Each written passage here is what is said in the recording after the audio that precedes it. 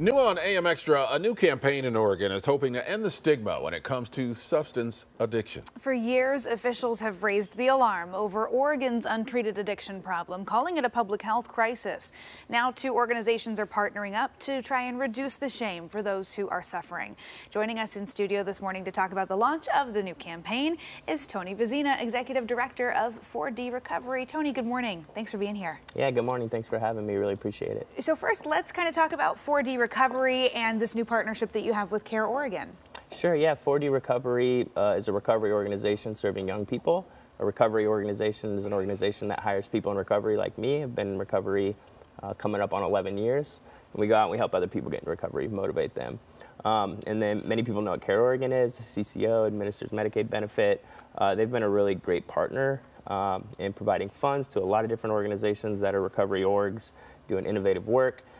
Um, you know, and we at 4D know that one of the major barriers to um, seeking treatment and recovery services is the stigma. Mm-hmm. And so this campaign has three main objectives. One is to just demonstrate that substance use disorder, what people commonly think of as addiction, affects everybody race, creed, religion, none of that matters, right? Socioeconomic status, none of that matters. Uh, so we want to show that. We want to show that.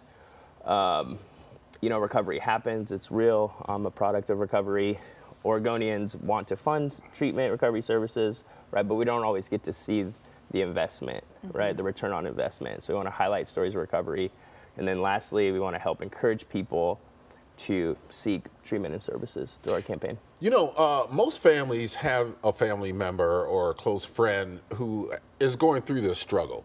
So, where do you think the stigma comes from, especially when most of us have had personal experiences with it? Yeah, well, you know, one of the things about substance use disorder is that, you know, it is a you know, a brain disease, right? But it exemplifies itself in behaviors. And oftentimes, like me, when I was using, my behaviors impacted other people right? So I think that's where the stigma comes from, is associated with those behaviors, right? And historically, people have viewed um, substance use disorder as more of a moral failing, mm-hmm. and you know didn't look so much at the science. But now there's pretty broad consensus that it can be treated uh, relatively effectively, um, and so we're just challenging people like, hey, it's okay to have a problem, it's okay to get help. Lots of us recover. Yeah. So we're uplifting a lot of different stories of recovery. Well, there's also that, that school of thought where the, the opposite of addiction is community, right? right. That, that isolation can often come along with addiction. So how does that play into that stigma and, and make it so hard to sometimes find that help? Yeah, no, that's a, that's a really good question.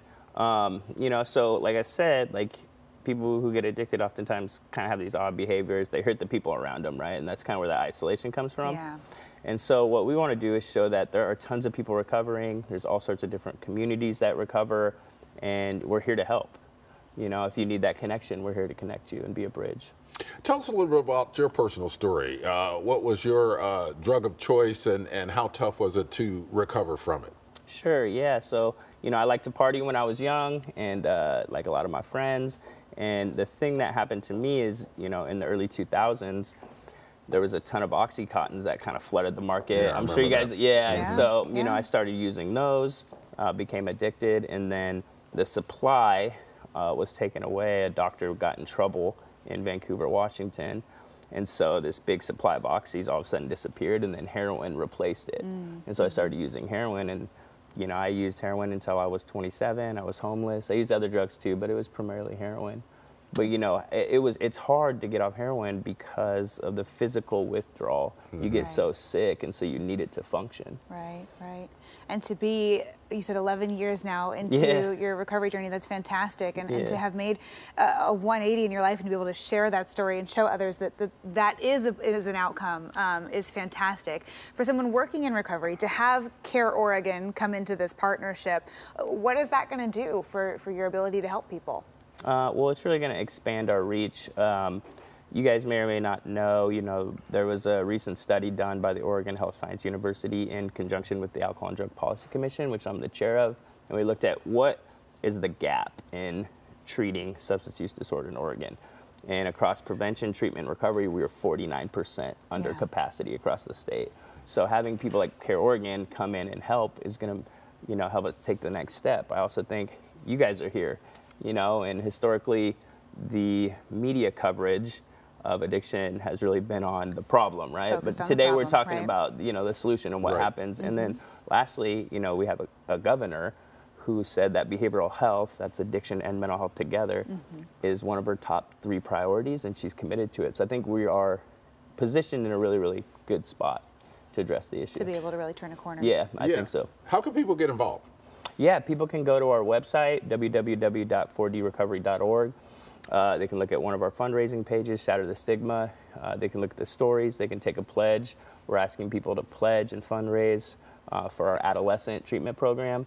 Um, there's hardly any adolescent services in Oregon, and so we're asking for help from the public to raise funds. Um, we'll be opening up uh, on July 7th of this year. That's Great. fantastic. Well, as you mentioned, Tony, we, we talk a lot about the problem and, Right. and we want to be part of the conversation for those solutions. Thank you for sharing your story and being part of that today. We really appreciate it. Yeah, thanks for having me. And if you want to learn more about 4D Recovery, their anti stigma campaign, and how you can get involved with 4D in CareOregon, head to the organization's website. It's 4drecovery.org.